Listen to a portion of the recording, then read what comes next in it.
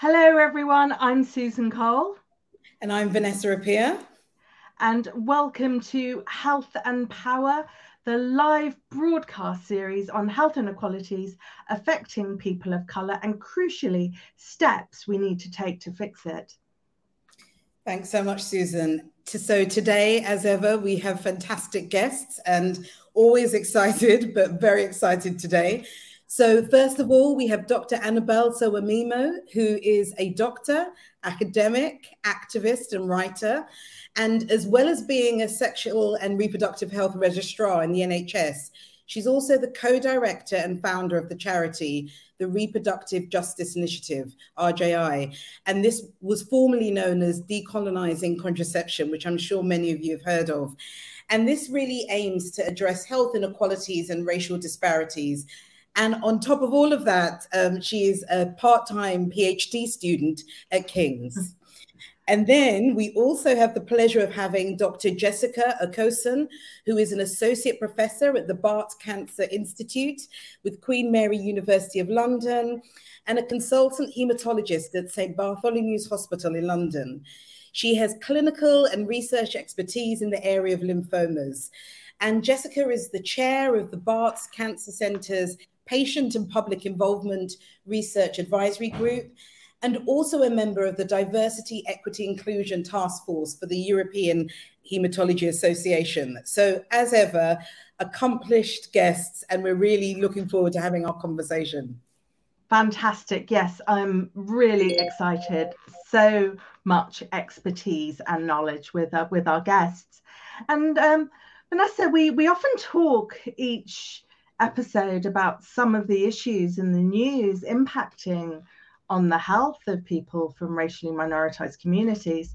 And I know recently there's been quite a lot around quite harrowing um, coverage in relation mm. to anti migrant rhetoric, which I mm. think really affects so many of us. But also, I've just been thinking about, you know, when we talk about health inequalities, often the focus is on how we might be treated in the health service. But I think it's important to also remember that that our health through being affected by racism can also impact on us in relation to like premature aging and and uh, chronic diseases that I think often people don't really consider. Definitely, Susan. And I think we have so many examples. I mean, it's kind of day in, day out. You kind of dread each morning what you're going to read um, on the internet about what's happened somewhere in the world. And you can guarantee that um, there there's going to be something that's triggering in some way. And whether it's a small amount or a large amount, um, it affects us. And I think one of the things that you're highlighting is about this concept of weathering, which is a concept that it really says that by having repeated exposure to, you know, socioeconomic adversity, marginalization in many forms, racism, and perpetual um, discrimination can affect our health. And it's the kind of repeated exposure of this that is really important to um, acknowledge. And it affects aging, it affects, there's data about cardiovascular heart health, um, there's um, data about just other parts of our physical health, and also as you'd expect, our mental well-being as well. So it's it's not just a concept; we're living it and we're experiencing it. Yeah, absolutely. And I, I, know one of the issues links to cancer. So I think it'd be really great to bring on a cancer specialist. No, I know, I know. We're very, very lucky to have it all links have... together. So we'll um, have our conversation with Jessica and bring that in. So that's Hi. great. Yeah, we can have Jessica on, please. Hi, Jessica. Thank you so much for for coming on.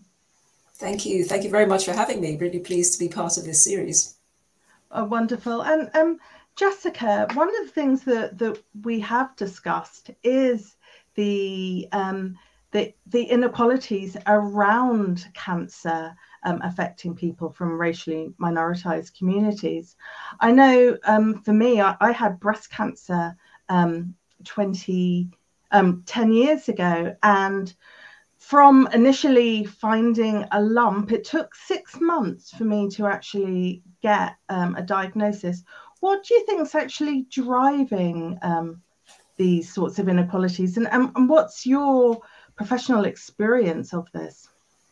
Yeah, no, it's, it's an excellent question. I think we we recognize that there are sort of racial and ethnic disparities, um, particularly in solid cancers you mentioned in, in sort of breast cancer. But I mean, I'm I'm a specialist in sort of blood cancers. Actually, that's very that's less well recognized. Mm-hmm. And what's really interesting, I want to try and give an example in terms of what why we don't really have a very good understanding of this. So, Cancer Research UK is one of the biggest sort of you know charitable cancer research organizations. So, if you go to their website on cancer statistics, you can find the data on, you know, discrepancies in terms of outcomes between gender, so men and women, old and young, socioeconomic group, but there's actually no data publicly regarding, you know, the outcomes for different ethnicities or different racial groups. So there's a not a lot of awareness. I think that's one of the challenges.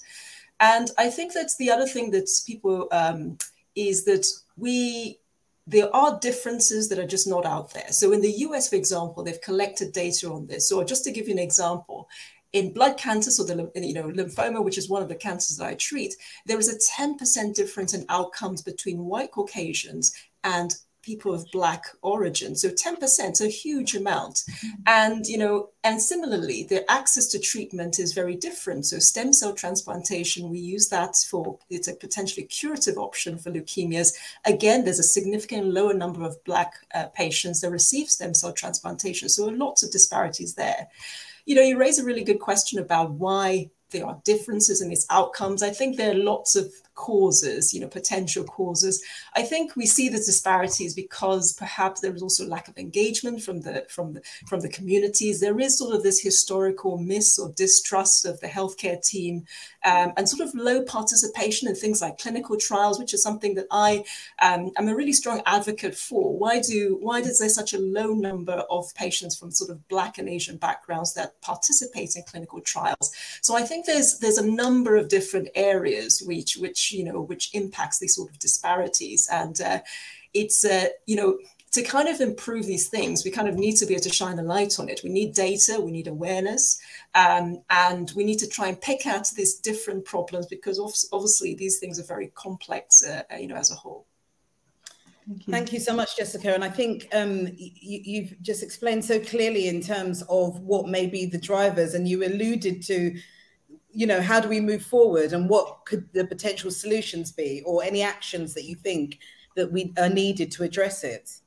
Yeah, I mean, I think we know that there are a number of sort of access or structural barriers to accessing care, and it kind of stems from a number of different things. You know, language barriers certainly is one of them. Cultural barriers, uh, you know, get you know, being able to sort of there's sort of different levels of health literacy also. So I think that, and that may also stem from this sort of cultural and language barriers. Um, we've tried very hard to make sure that information that we have available is available in, in, multiple languages so that people from a range of different backgrounds have access to that. I mean, working, as you know, Vanessa, working in sort of East London, we've probably got, you know, the most ethnically diverse region in the country, but it also encompasses the most, one of some, some of the most deprived boroughs um, in, in, in the UK. So we have a number of challenges there and how do we kind of break some of those barriers? And I think it's sort of raising awareness, increasing our reach because sometimes the, the challenge I think that we have as healthcare professionals is we need to be able to advocate for our patients from different backgrounds. And I find that what typically happens is many patients that have ethnic minority backgrounds get shoved into my clinic. I think it's perhaps because they just think, well, Jessica kind of is from that background. A lot of the patients, sort of the level of, you know, there, there is very interesting data about patients um, you know, the concordance between sort yeah. of the, the physicians, the, the, healthcare professionals, and the patients, that it's, it, it certainly leads to improved communication, improving outcomes. And so I think that one of the things that we need to try and do is increase diversity also of, you know, at many levels, you know, diversity of our healthcare professionals, of our nurses, you know, leadership, you know, it's very difficult to enact change when um, when the, the healthcare force that are looking after the patients aren't representative of the patients that we're seeing.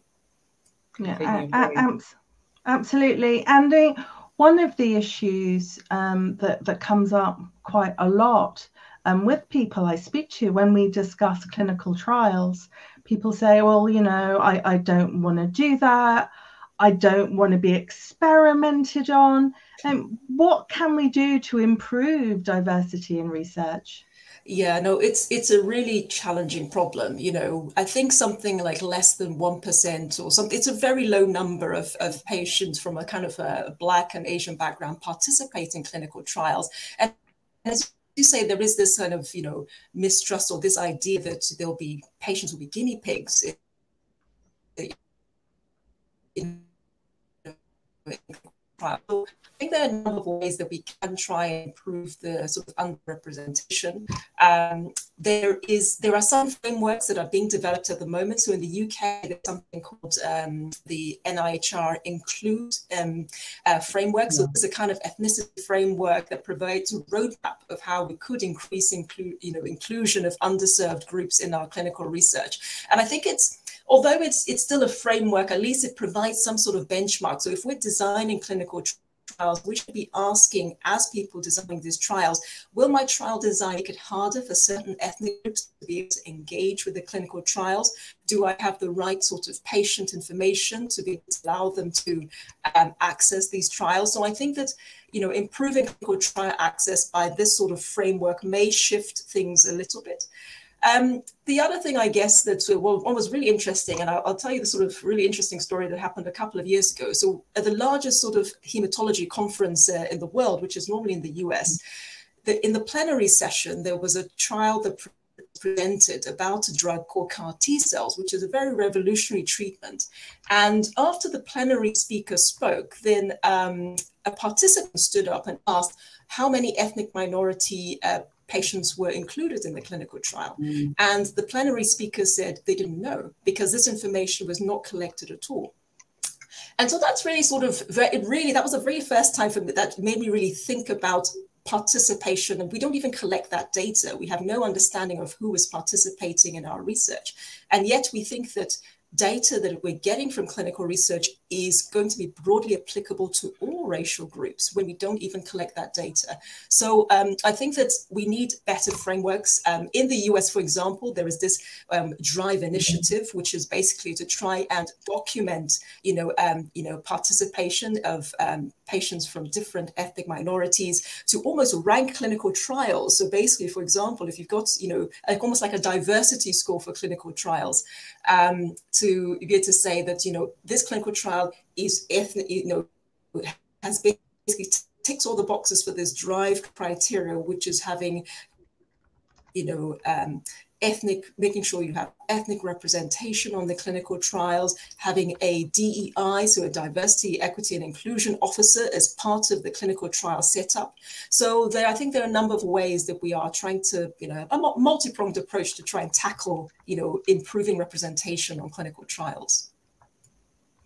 Thanks so much, Jessica. I and it, again, everything that you've outlined there is so important in terms of um, just really bringing that diversity aspect. And I just wanted to, as we end, just pick up on something that you mentioned earlier in terms of, um, you know, not only representation within the patients, but the staff themselves and the people, um, uh, you know, designing the trials. And I, I think it, it's really important to, you know, highlight, you know, yourself as a black woman in science that is leading research. And that is, you know, quite frankly, quite few and far between. And, and I think that that pipeline of having women in science and also Black women in science is just so important.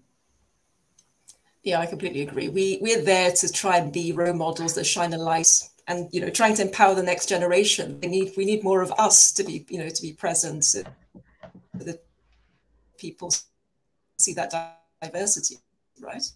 So, so important. Oh, thank you so much. Thank you so much, Jessica. it's gone really you. quickly. No, thank you very thank you. Thank Fantastic. you. Thanks, Jessica. Yeah, raise so many really important issues. I think also in terms of research, co-production is mm. really uh, really, really important as well. And there's meaningful engagement of people from the communities because so often it's just this tokenistic engagement that we see so often. Well, exactly. There's certain buzzwords that you know people will put into um, bids and grants, you know, and they'll throw in meaningful, they'll throw in authentic, you know, all all the right words to show that you are uh, going in the right direction. But you know those words must be matched with action and we know very you know from the work that we do and um, we support and engage with that you can't take that for granted. And so there's got to be a lot of active and intentional work to really make sure that engagement is truly meaningful. Absolutely. And and thinking about what what jessica was saying just just around in terms of things like like breast cancer it just really mm. makes me think of the intersections, particularly as Black women, that we face um, around our health. And I mean, it's one of the things that we can discuss um, with um, with Annabel. But one of the things that she wrote about in Divided is, you know, Black women not being believed when we speak about our pain in, in hospitals. And I, I also think it's not just our physical pain, but you know, when we talk about our emotional pain or if we cry you know it, it it's not treated in the same way. There isn't the same compassion for for black women as to women from from other groups. Susan i think that word is exactly it. It's the compassion. It's the empathy. Um, and i think sadly it just doesn't um, it doesn't rest as an adult. So across the life course of women, but across the life course of Black women, the perception of us as um, stronger than our counterparts, even at a young age, um, there's this concept of adult, adultification bias, um, where you can have two eight year olds playing together. One is of black ethnicity, one is of white ethnicity. And the perception and response to them both crying is very different. So, mm. um, and we, we've seen that in some of the sad things that have happened in some of the management of um, kids of black ethnicity in schools. So I think very much so that the the experience unfortunately extends across the life course and the work that we do really needs to work go across the life course to make a difference absolutely so shall we bring on annabel hello hello hello annabel hello.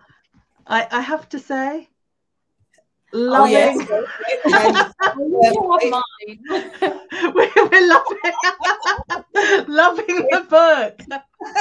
That is a, a picture to be beholden. Um, and I, I, I surprised because I'm in Ghana, so I've got my book in Ghana, so I had it flipped over. So there we go. But no, wow, Annabel, welcome, welcome. Thank you for having me.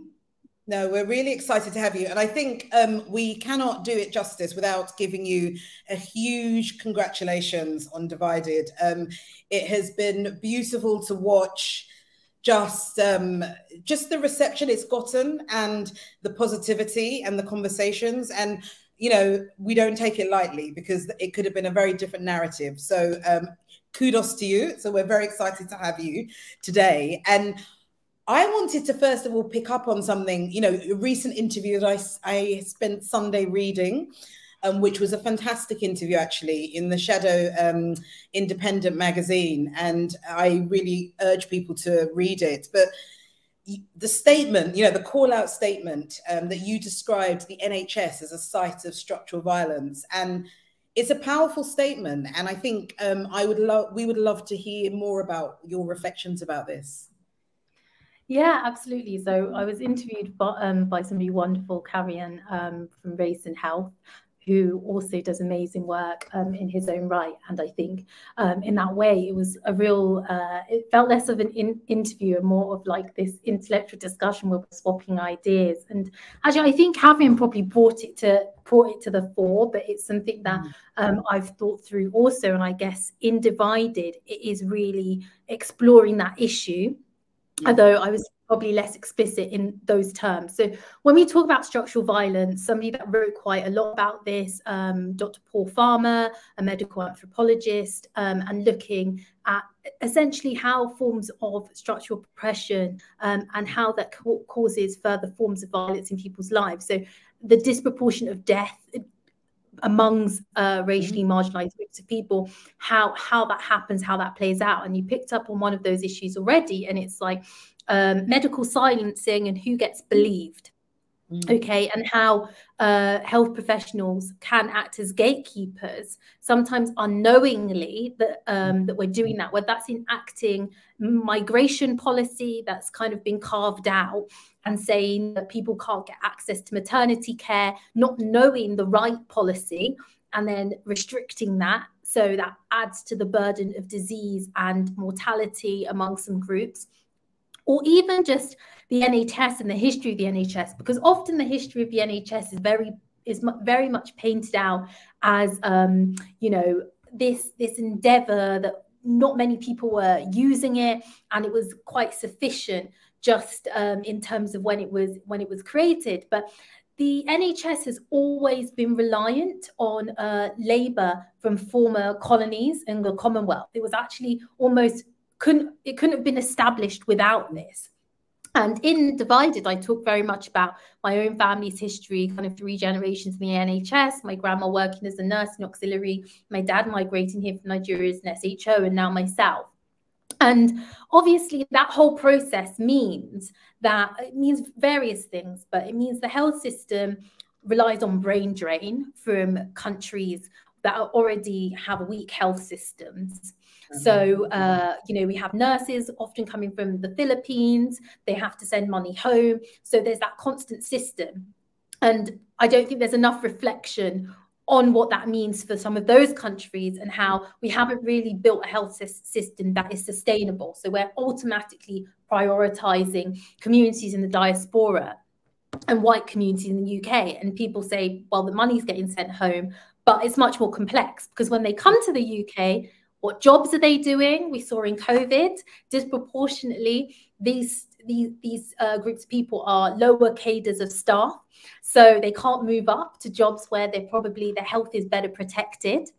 And often they can't bring their families increasingly, right? Yeah. So you're working, you're working, you're working, and you don't have any quality of life. So when we talk about structural violence, we're not just talking about the disproportionate inequities that exist for the groups in this country, but we're also talking about the people that have to maintain this system and what it what it means um, for for them. And in that way, um, I often say that the NHS was very much built um, by people who were never meant to be cared for by this system that was never factored into the plan um, so the inequity was almost baked into the system and we've not really taken time to reflect on that. It, I mean, yeah, I mean, it's it's so true. I always say it was built for, for the majority and not for the minority, and those, and unfortunately, the minority is the ones that actually has been buffering and holding up um, the NHS and driving it forward. Um, thank you.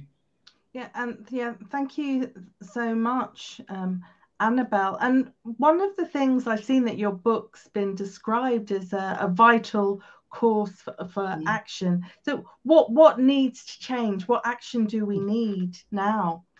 Yeah, I mean, it's such a big question. And for me, you know, for, I, I wrote it very much as I hope it does push people, but I also wrote it as like an introduction in many ways to some of these issues where people may not have explored um, it through this kind of um, healthcare through this racialized or colonial lens before.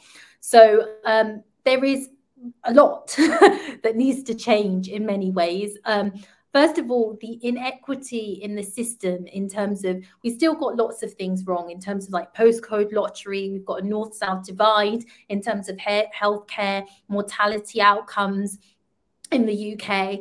And fundamentally, a lot of these things cannot change unless we really interrogate, you know, whose health matters in that sense, right? Um, very often, the distribution of resources within the NHS, we kind of go, we're going to distribute them evenly, even though that's not what happens. When actually, when we talk about equity, we know what it means is that if you see that there, there's a burden of disease that's higher in a certain group, you need to throw more resources at that specific group to level the playing field, right? And we're never going to get to better outcomes unless we do that and we do that um, quite aggressively, right, in terms of redistributing the resources that we have. But people often feel a lot of pushback about that um, when you say that's what needs to be done, and that's why we we are yet to see any particular change. And in, in many ways, the health divide is growing. Um, I think also.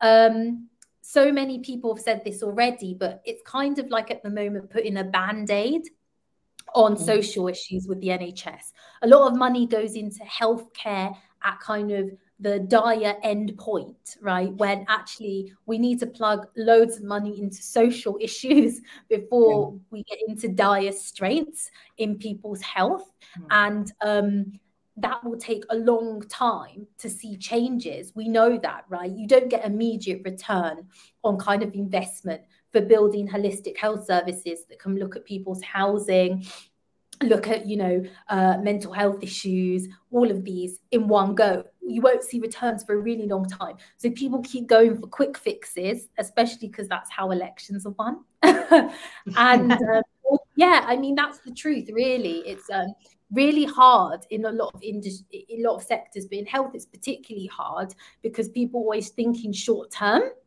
um, and actually we really need a lot long-term planning which invests quite heavily in social problems and then you would see better health outcomes overall. And a lot of clinicians know this right? When we see people with chronic diseases or end stage diseases, when you look at the whole picture, you know that you could have probably stopped this in motion probably about 20 or 30 years ago.